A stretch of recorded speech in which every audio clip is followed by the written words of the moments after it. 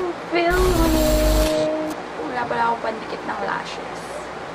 Hey guys, it's me again, Rachel. What's up? So I did a makeup look, which I'm so happy, and I hope you guys like this video as well. So I started with the moisturizer and primed my eye using the Tarte Shape Concealer. And if you can tell, I'm using the Morphe X Jaclyn Hill palette, which I'm putting in Rush and framed on my crease. I'm just blending everything out and I wanted to do a cut crease so I did use the Sharp Tip Concealer again in the shade Medium Sand and going back and forth with the palettes as you can see. Yes. And I used the on-camera Shining Shimmering Golden Shadow. So nice. So perfect. And then I used Secret just to intensify the outer V and then go back and forth with the shadows. I also added that orangey shade in Alert on my crease. As you can see, I'm cleaning my eyes. So I'm using the Milani Conceal and Perfect Foundation on my face.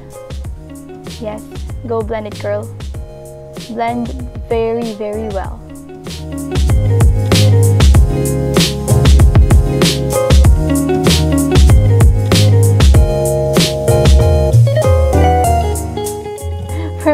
Concealer, I'm using the, again, the Tarte Shape Tape Concealer.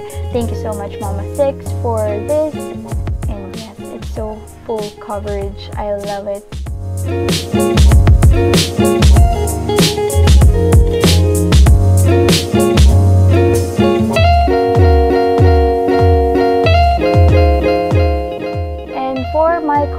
Contour, I'm actually using the Makeup Forever Ultra HD Foundation.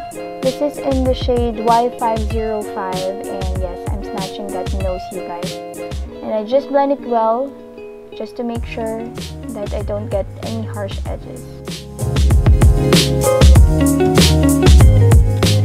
For my powder, I'm actually using Glossy Powder. For my eyebrows, I'm using the BLK Cosmetics eyebrow thingy that's in the shade taupe and I love it. It's super creamy and it glides on very nicely on my brows. Make sure to blend. Blending is the key. I'm using the Essence Pure Nude Highlighter on my brow bone. The eyeliner I used is from Maybelline and that's the Hyper Sharp wing liner and I'm trying to wing it out. Yes.